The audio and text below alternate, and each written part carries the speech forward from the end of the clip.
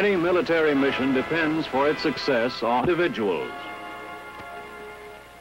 Individuals working together. A small patrol such as this, a familiar example.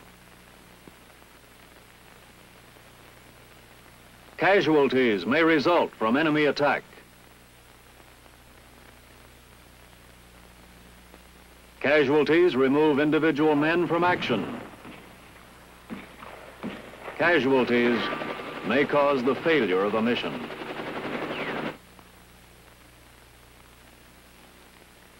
Attack by chemical, biological, or radiological agents has the greatest potential for mass casualties ever known to man. The greatest danger to you and your mission can come from enemy CBR operations. CBR stands for three words, chemical, biological, and radiological, CBR.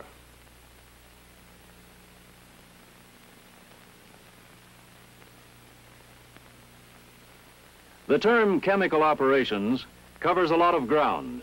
And while this isn't exactly a chemical agent, a chemical reaction is involved. Through your military experience, you may already recognize certain chemical operations and some chemical agents. For example, chemical smoke used for concealment. Fire, incendiaries, flamethrowers, used to destroy and produce casualties. Some agents producing temporary effects are used for training and riot control. These cause the temporary inability to act and may also be known to you.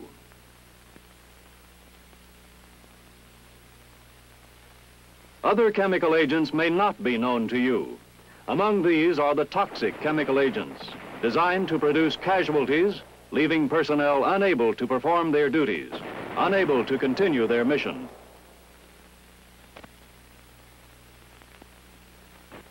Blister agents such as mustard will blister, inflame, irritate, and redden whatever tissue they touch, skin, eyes, lungs. The visible effects may be delayed. The damage, once it appears, may last for weeks or even be fatal. There are some chemical agents deadlier than a rattlesnake that may strike without warning. These are the effects of nerve agents. They paralyze the breathing muscles, causing casualties within seconds.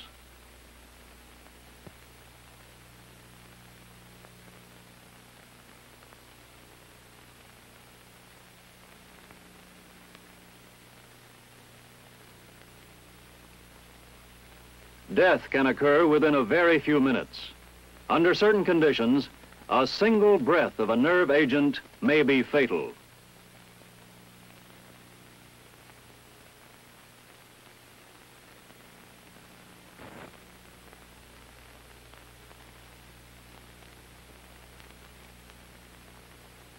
Frequently, you have been exposed to biological agents.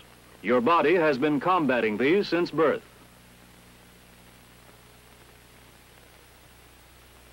If you have had a cold or measles, chickenpox, or even diarrhea, you already understand the effect of a biological agent and you have survived. Biological operations are simply a man-made attempt to use certain disease-causing agents, biological agents, to produce sickness and casualties on a large scale.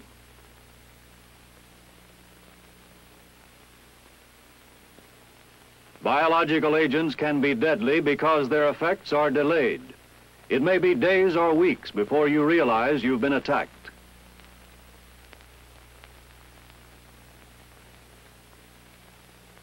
The first sign may be serious and widespread sickness and even deaths.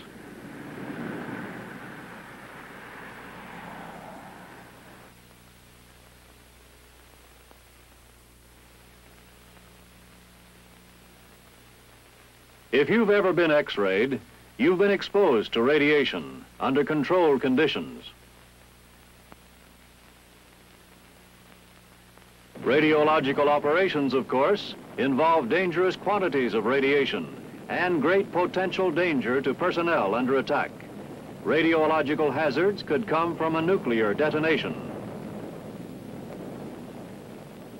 One effect of a nuclear detonation is intense heat from the fireball. Another effect is blast. It is, of course, many times more powerful than HE blast. Neither heat nor blast are new.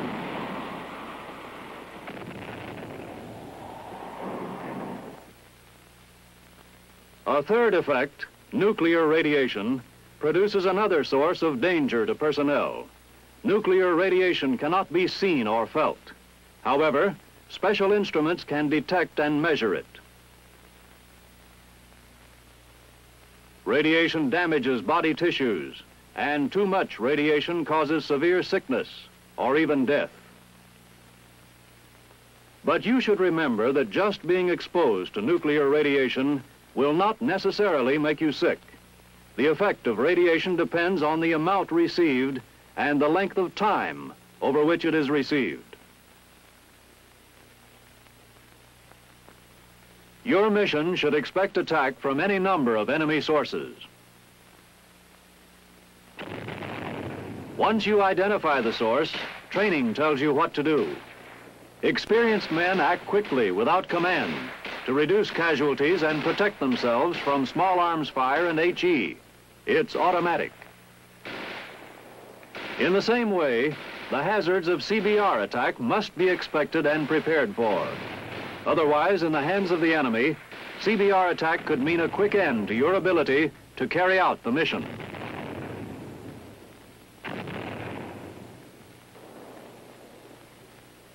CBR agents can be compared to a sniper with a silencer.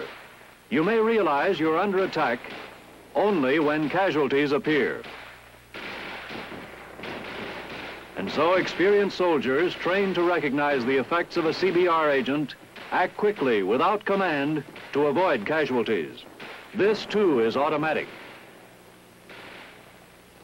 Under CBR attack, good training pays off. Knowing what to do and acting effectively requires knowledge. Knowledge of how CBR agents act on your body.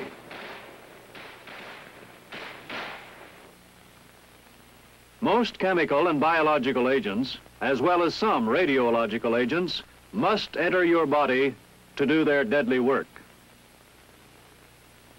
They can enter your body through your eyes, mouth, nose, or skin. Others can do their damage on the surface.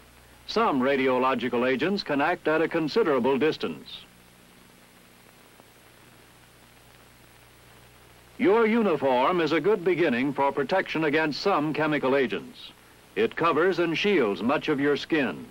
It can be chemically treated to provide still better protection. Gloves can be used to protect your hands and ointment applied to protect exposed skin areas. Without the protective mask, the most vulnerable areas, eyes, nose, mouth, and lungs, are exposed. The protective mask is the most important single piece of protective equipment you have against chemical and biological agents. With it, most of the face is covered, and the filter protects the lungs from agents that would have entered through the nose or mouth. Complementing the mask and uniform is the chemical agent's protection and treatment set. It contains gauze pads,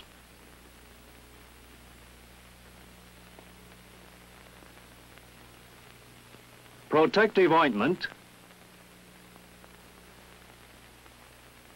and an atropine syrette. The protective ointment is used to neutralize and decontaminate, protecting the skin against blister agents.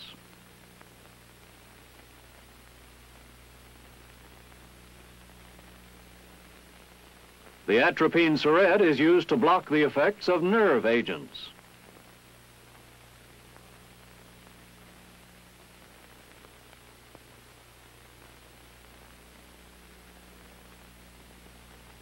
Your health and physical fitness are a primary and daily concern in the Army.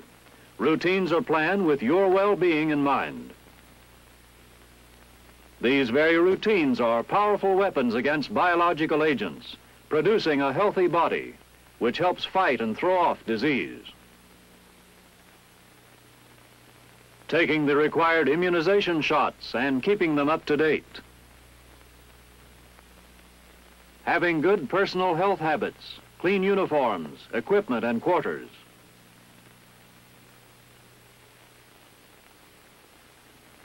Drinking water only from approved sources and eating food prepared under Army supervision. These are some of the means of preventing many effects of biological agents.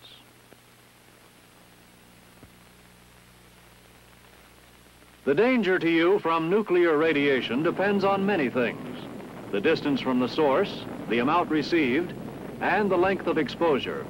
But the key word to remember is shielding. A thick stone or concrete wall is a good shield. So is an embankment or a trench. A deep covered foxhole prepared in advance is by far the best protection. Remember to dig it so you can fire from the foxhole when your mission requires it. Whatever cover you choose must protect you from radiation, and generally, the more material, the better. Remember, too, there is no time to find cover. If you're caught in the open, don't run for cover. Fall flat on the ground at once. In any case, remain in your shielded position until ordered to move out, unless your mission makes movement essential. CBR agents can be delivered to a target quickly and in quantity with existing methods. For example, mortar and artillery shells, sprays from aircraft, guided missiles and rockets, aerial bombs, mines or grenades, drones and submarines, sabotage our enemy agents behind the lines.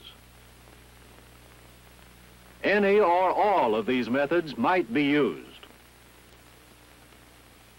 CBR agents can be used anywhere, probably when they're least expected. CBR agents will surely be used to gain the advantage of surprise and to interrupt the flow of supplies and communications. To counteract surprise, specialists in CBR operations, experts in detecting, locating, and reporting CBR conditions are attached at the appropriate unit levels. You can count on them for prediction, warning, information, and technical advice. But protection against CBR agents is your job.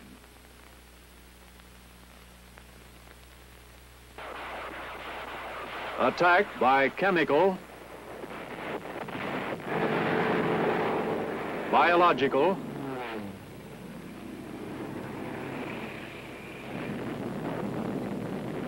or radiological agents has increased the potential and striking power of the military arsenal. The hazards of CBR agents and CBR attack must be expected and prepared for. CBR can stop you cold unless you know what to do.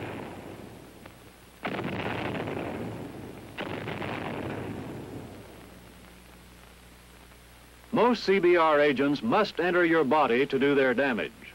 Others work at a distance or on the surface of your body.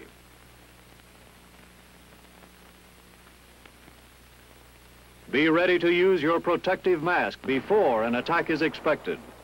Against chemical and biological agents, it is the best protection known.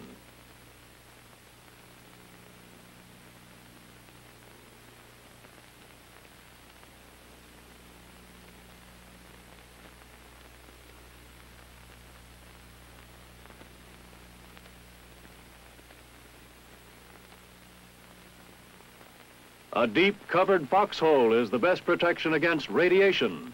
You must have something to shield you. The wise soldier understands the dangers of CBR. He respects them, but does not fear them.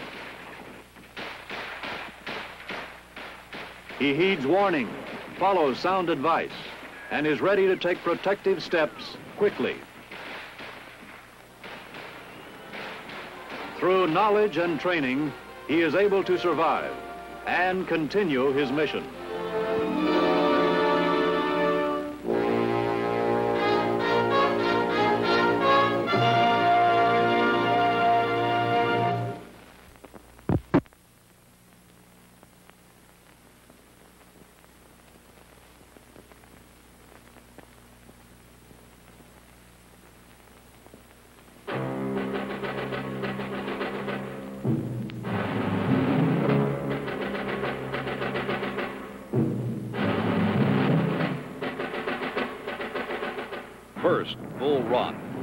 Sharpsburg, Antietam, Gettysburg.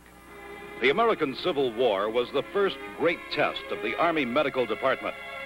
Nearly a half million men were wounded, and thousands died who might have lived.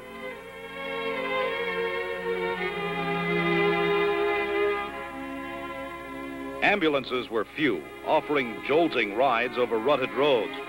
Even the lightly wounded often died of shock or exposure before reaching primitive care. Yesterday's wounded and the medical men who served them could only agree with William Tecumseh Sherman that war was hell.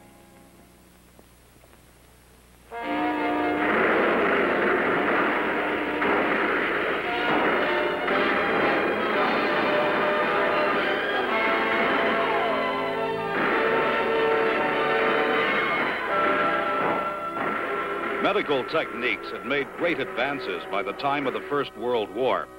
But the wounded waited for medical attention almost as long as their grandfathers had a half century earlier. After being hit, a man might suffer through the day before starting the long, rough trip to base hospital, and he sometimes crawled under fire to reach even first aid. The fouled earth upon which the wounded lay for unending hours brought on gas gangrene and usually amputation or death.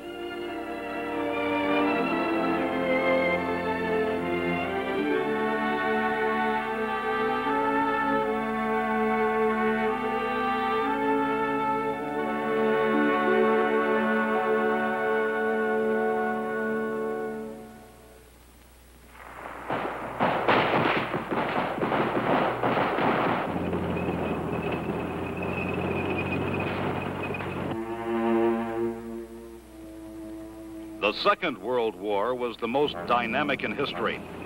This blitzkrieg mobility expanded the medical department.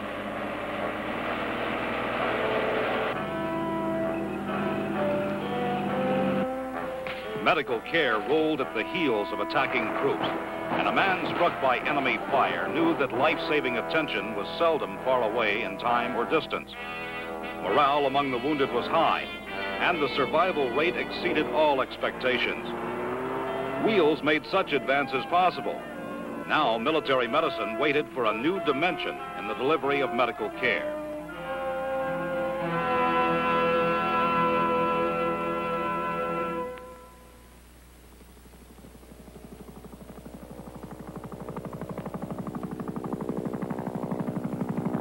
First used in Korea, the helicopter provided a vertical dimension to the care of wounded.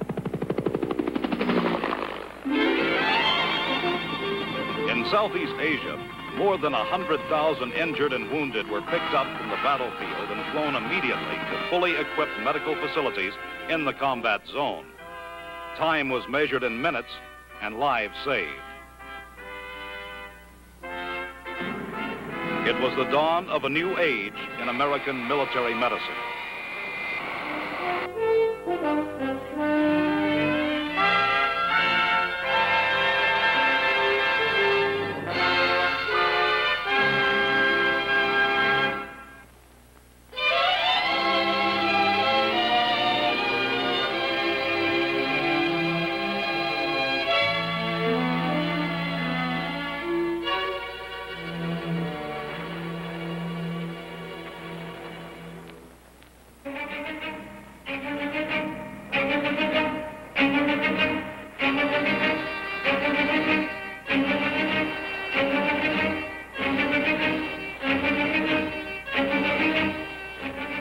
Today's soldier, trained for his job better than any in the world, knows that wherever duty may send him, skilled, dedicated medical personnel form a chain of care reaching from foxhole to specialized hospitals in the continental United States.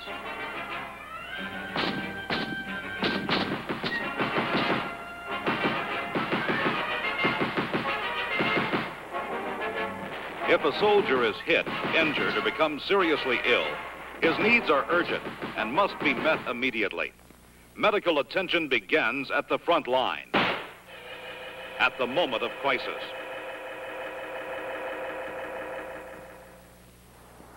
In addition to treatment, the medic must never forget that careful and correct positioning of the patient is of primary importance in evacuating him to the rear. When no litters are available, or when their use is impractical, the basic method of evacuating a patient from the battlefield is by manual carry. A patient can be carried by one man or two using a variety of techniques. In the interest of the patient's welfare, two-man carries are always preferred, but sometimes a medic must go it alone. Airway obstruction, massive bleeding, fractures, and shock. Each symptom is checked before the medic prepares to lift the patient from the ground. A wrong move now can endanger the patient's life.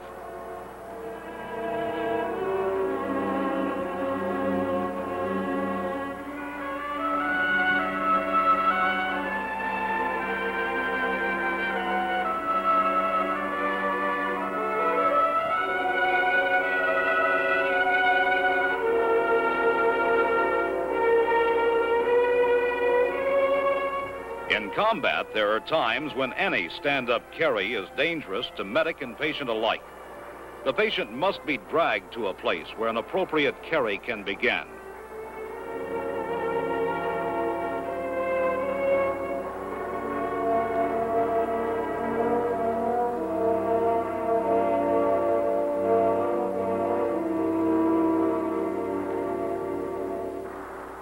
Fireman's drag presents a low profile for security, and the heads-up position of the medic provides maximum visibility.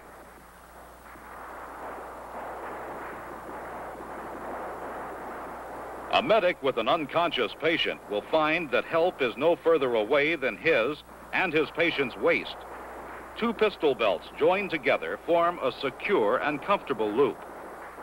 With the patient on his back, draw the loop up under his armpits.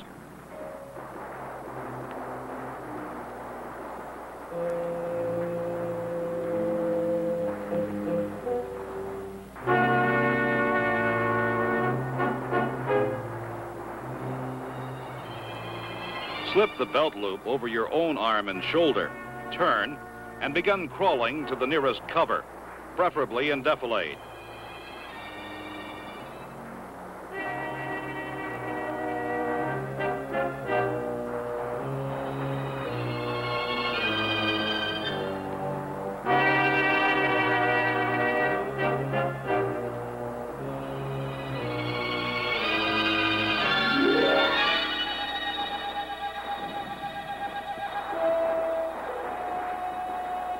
When safe, another type of carry can be safely used.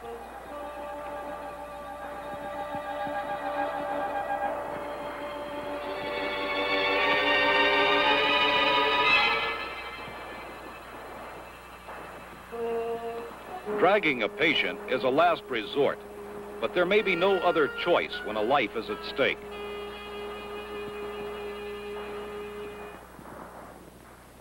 Slightly injured patients may not need to be carried to an aid station, but they will need assistance and guidance.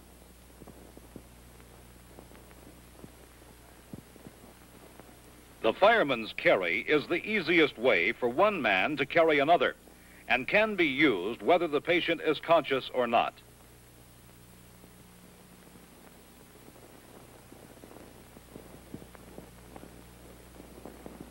The grip and leverage techniques employed here can be used in other one-man carries.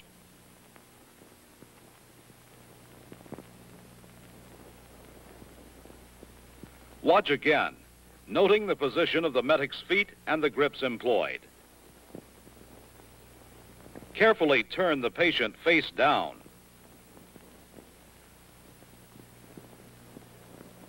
Raise the patient's head and rest it on his forearm so that the mouth and nasal passages are clear of the ground.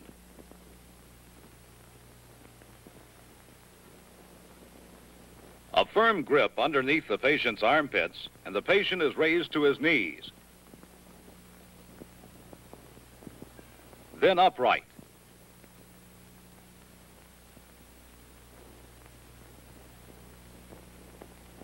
With the patient's knees locked, move to his front and lift him face down across your back. Come up smartly, shifting the weight to achieve balance. Then grip the patient's left wrist with your left hand, leaving the right hand free. Manual carries are not ideal, but they can save lives.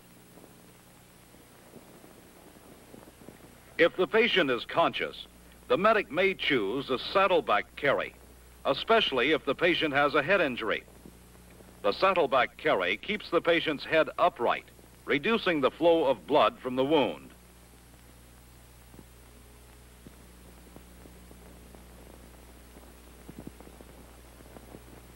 The saddleback carry is more fatiguing to the medic than the fireman's carry, but the nature of the patient's wound may dictate its use. If the patient is unconscious, the pack strap carry should be used.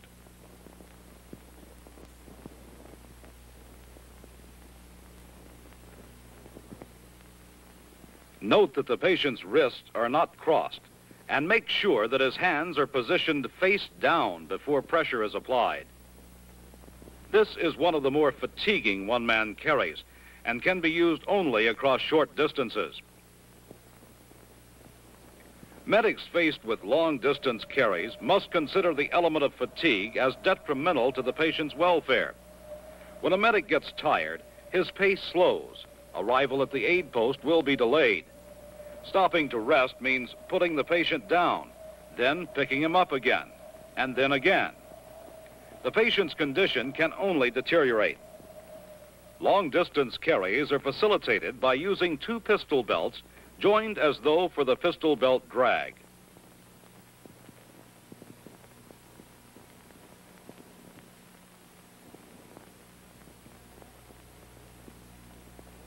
Ease yourself backward between the patient's extended legs, placing one arm, then the other through the waiting loops.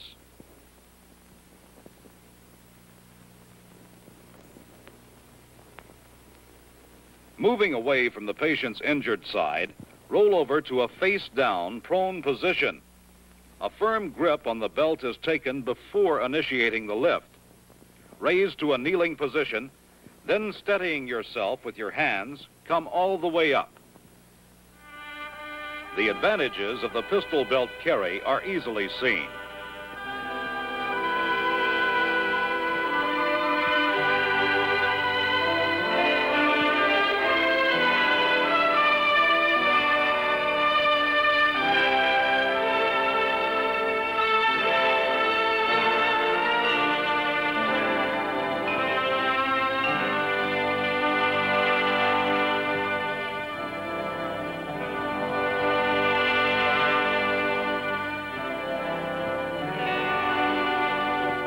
If pistol belts are not at hand, substitutes can be used. A rifle sling. Two triangular bandages taken from the medic's aid kit. A pair of litter straps or anything else that is long enough and that will not cut or bind the patient's flesh.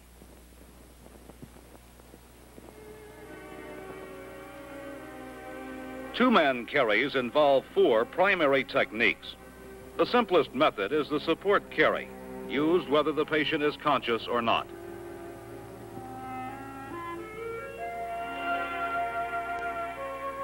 This carry can be used only for the lightly wounded.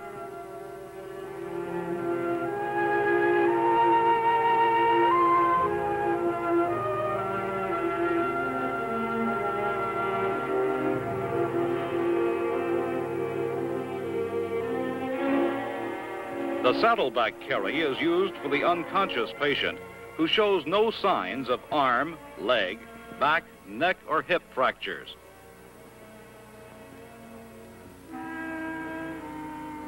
You must lift the patient in a single, coordinated movement, avoiding uneven shifting of the patient's weight.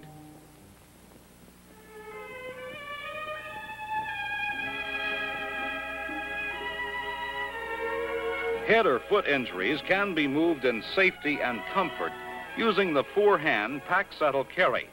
But the patient must be conscious so he can assist in the carry by holding on. An unconscious patient can be carried with support at his knees and at his back.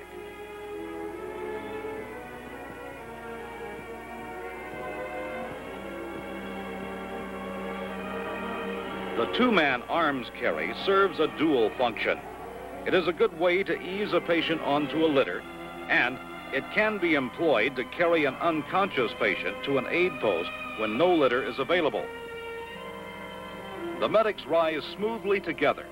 The patient is held high against the chest, a position that lessens fatigue during the carry.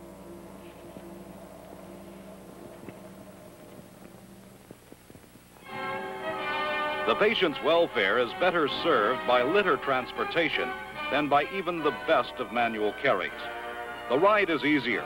He reaches the aid station faster, and chances of aggravating his injury are minimized. There are several kinds of litters used in the field. The standard straight aluminum litter can be handled by two, three, or four men. The litter's standardized configuration allows transfer from any of the multi-service evacuation vehicles, thus avoiding unnecessary stress to the patient, and time is saved.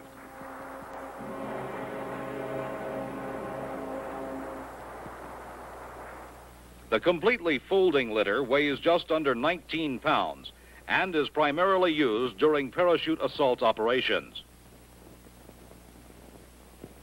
The semi-rigid, pole-less litter allows the patient to be bound securely, yet comfortably, by seven web straps from chest to ankles. The supporting rings facilitate handling when the litter must be tilted, as in evacuating a patient down a mountainside, or when helicopter extraction is required.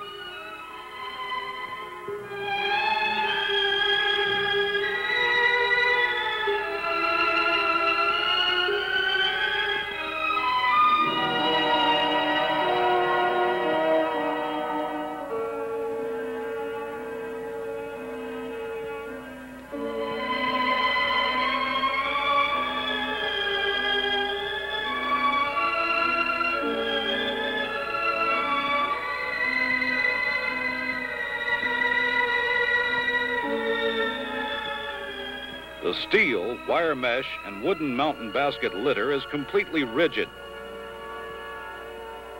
It can be pulled along the ground if necessary without injury to the patient.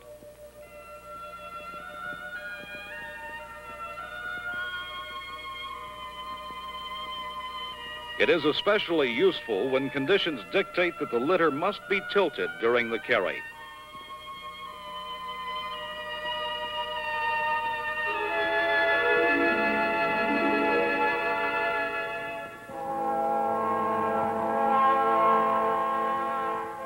The journey to an aid station begins with careful placement of the patient on the litter, wrapping him in a blanket to reduce the danger of shock, providing warmth and comfort during the carry.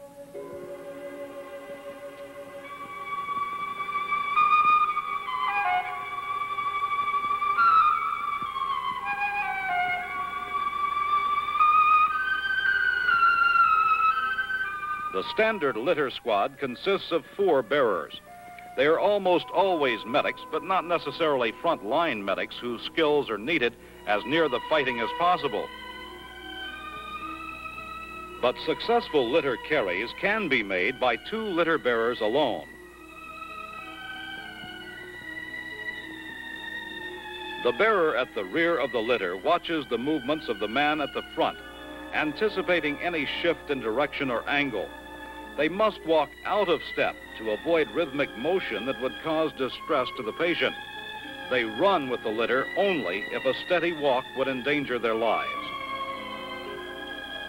Generally, the litter patient is carried feet first, but when going uphill, his head should be pointing forward.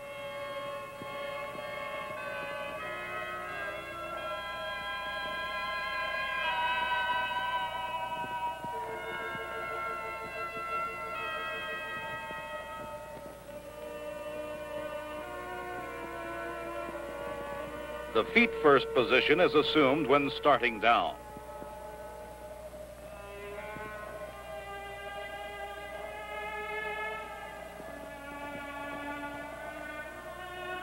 In the field, the medic's best ally is common sense. The advantages of a four-man litter team are never more apparent than when negotiating terrain broken by natural and man-made obstacles.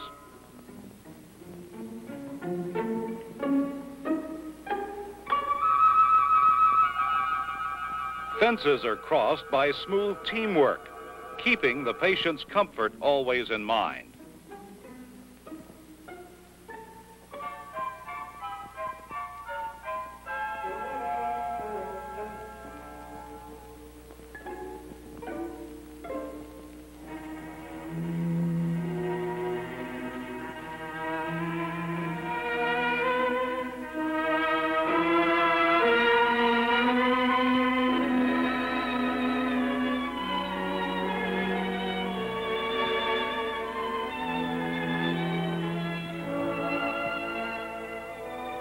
Moving a patient safely across a battlefield trench or deep ditch requires the same harmony of effort, fluid, synchronized motions that become automatic with practice.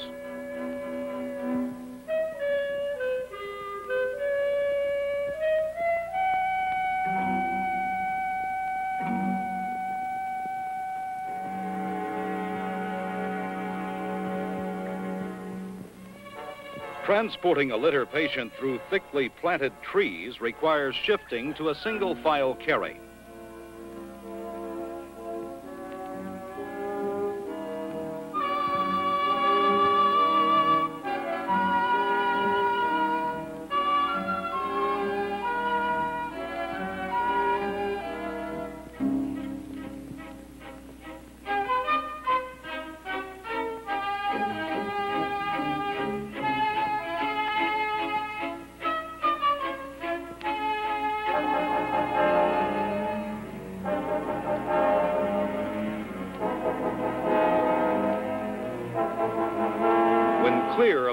Area, the point and the trail bearers resume their positions at the grips.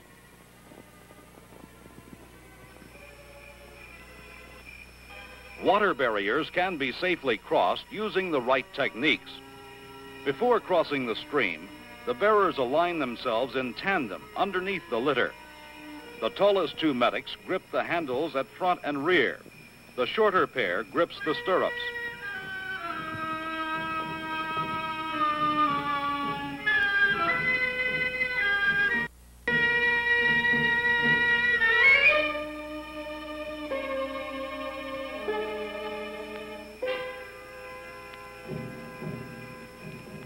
Water is too deep or the current is too strong, the patient is better floated across on a rubber raft or air mattress. Again, common sense will dictate the method.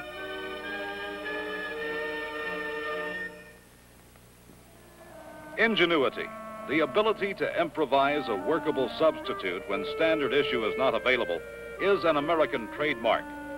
Medics may find themselves in need of litters when none are available but there are many ways to create serviceable litters from objects in the field.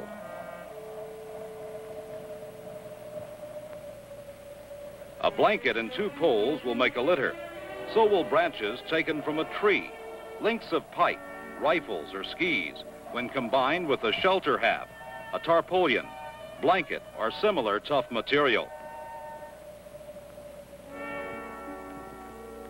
Corners cut from sacks, bed ticking, or mattress covers allow them to be fitted over poles.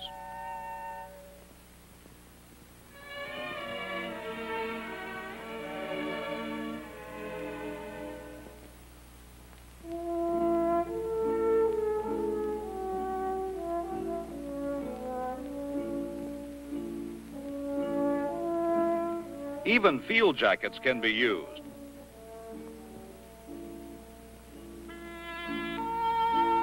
But make sure poles are passed through the sleeves and that buttons are secure.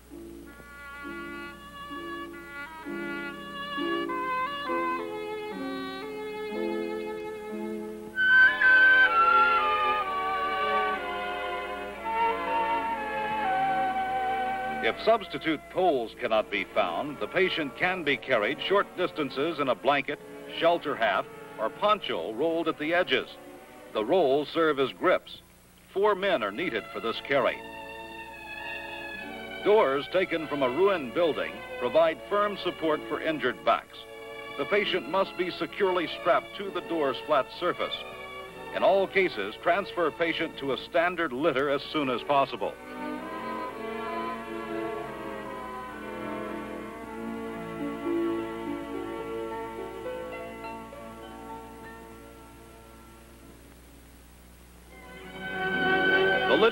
Responsibility to any one patient picked up on the battlefield ends only when the patient has been delivered safely into the hands of the nearest medical facility. Moving a patient is more than just transportation. It is care.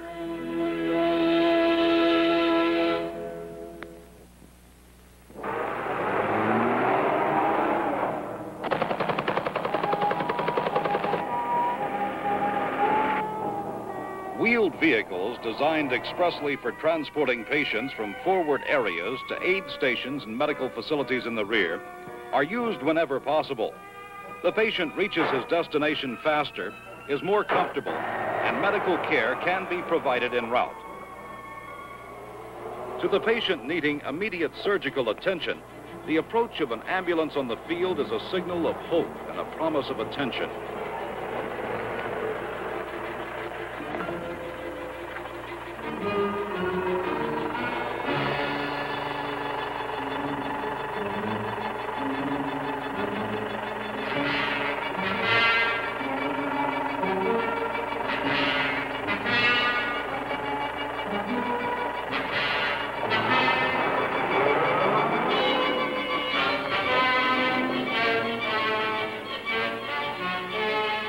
This frontline ambulance is able to work all the way up to the forward edge of the battle area.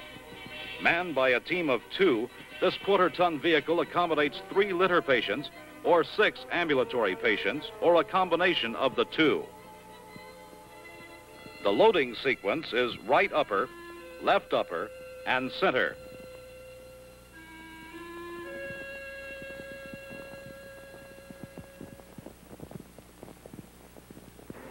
Medical elements of mechanized units must have similar evacuation capability. This fully tracked armored ambulance can serve as a mobile aid station.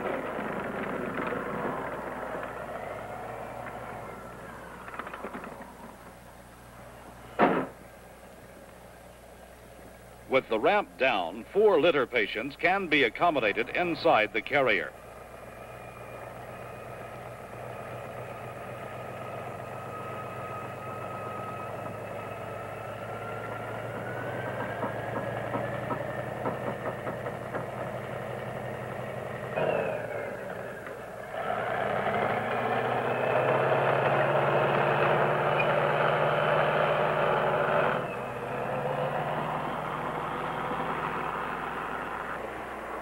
This six-wheel drive, single-unit ambulance, the Gamma Goat, is not only capable of omni-terrain transportation, it can also cross deep water by swimming.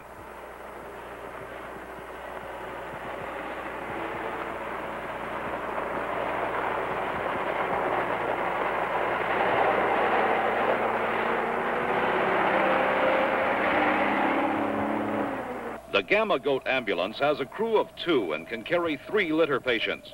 In motion, the sole means of communication between the driver and the medic is a light system operated from the patient compartment.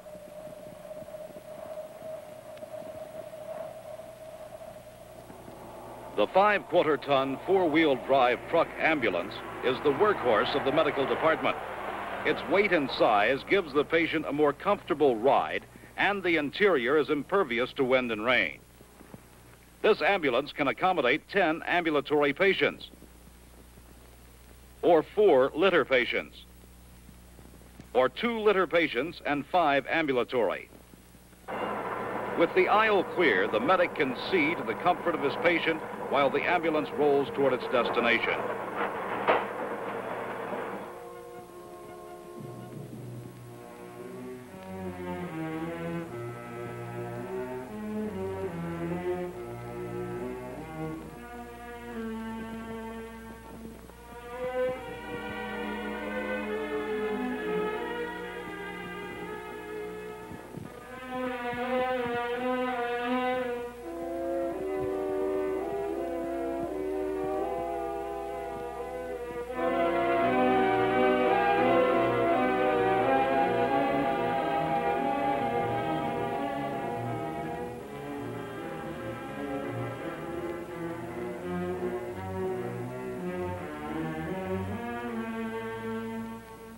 Each squad member assists in making the berth secure as litters are put aboard.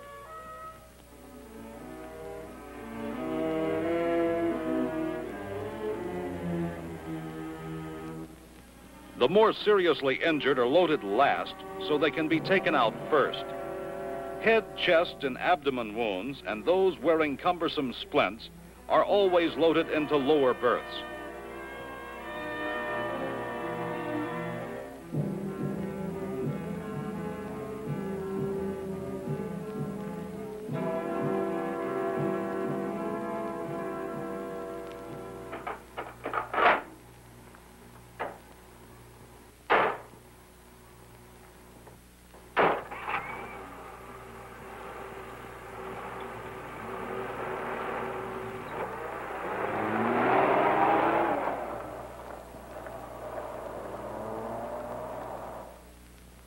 Many Army vehicles not expressly designed for ambulance work can be pressed into service when the occasion demands. The quarter-ton utility truck, the classic Jeep, is one of them. It can carry one litter patient by itself and three with the attached trailer. The vehicles can go almost anywhere the infantry can, but medical care while underway is not feasible. The five-quarter ton truck is another general purpose vehicle that can be used for the transportation of patients.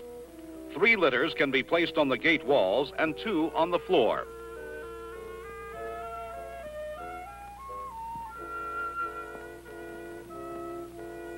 Although normally used for carrying heavy cargo, the two and a half ton wide bed truck can be used to transport up to a dozen litter patients.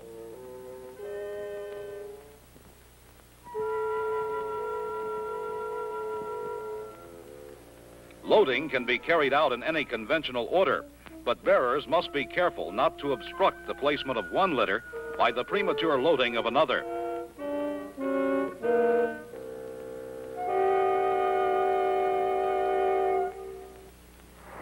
The bus ambulance is capable of transporting 44 ambulatory patients, and with modification, the bus will accommodate 18 litters and four attendants. The conversion kit carried on the bus contains every needed accessory to convert the bus into a litter-carrying ambulance. The bus ambulance can be used in support of the Army in the field wherever the road network and the tactical situation will allow. The total conversion time from removal of seats to installation of all 18 litters requires about 20 minutes. The bus is especially useful in transporting large numbers of patients over short distances, from hospitals to airheads, railheads, ports of embarkation, and there is ample room inside for en route medical care of every patient.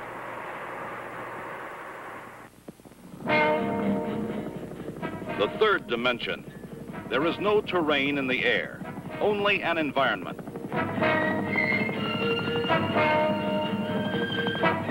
Machines in the sky transcend time, eclipsing distance.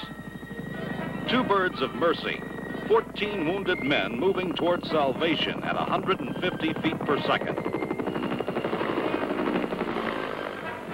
The battle for life can be won or lost in minutes, and evacuation by air spells the difference.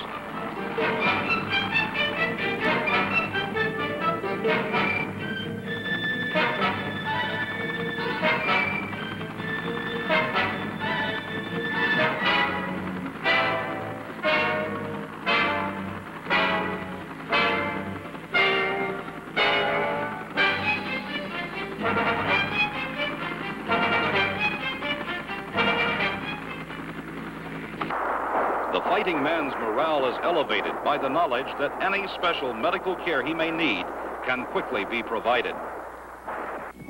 The speed, range, and flexibility of medevac helicopters allow selected patients to be flown directly to teams handling particular wounds and injuries. Where it might take agonizing hours to hand carry a patient down a mountainside or cliff face, the familiar Huey can have him safely away in minutes.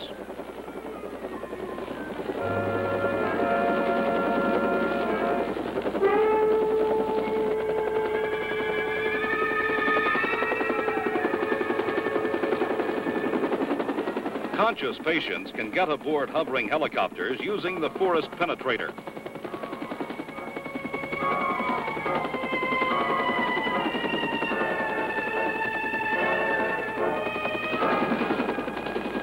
Allow the penetrator to touch the ground before grabbing. The aircraft builds a considerable charge of static electricity, electricity looking for a place to discharge.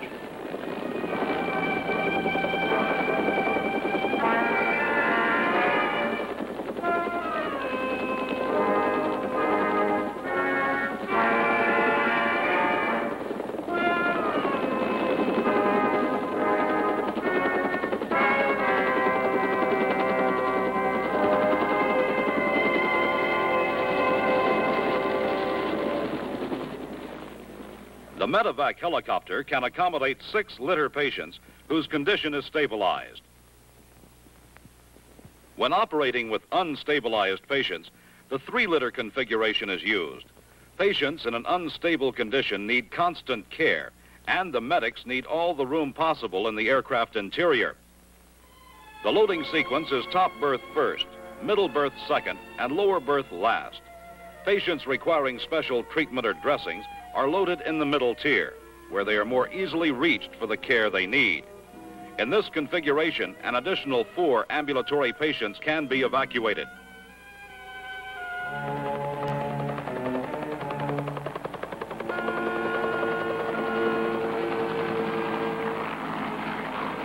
Every safety precaution must be observed when preparing to offload patients. Always approach the aircraft from the front so that the pilot can see you coming. Always crouch low on approach. Litters must be kept clear of main rotor systems. In moving from one side of the aircraft to the other, never go around the rear. Always make the crossover by moving around the front. Profiles are kept low. Eyes observe not the rotor blades, but the ground ahead.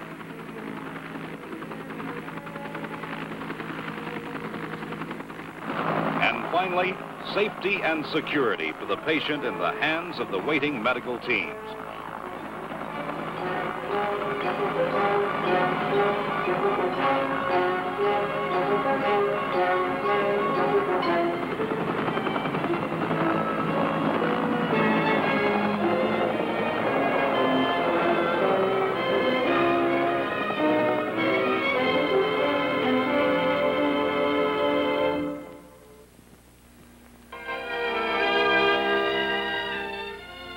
Today's frontline Army medics are prepared to meet the challenge and the responsibility of transporting the sick and wounded with the skill and dedication long a tradition in American military medicine. The responsibility is ultimate, that of life itself.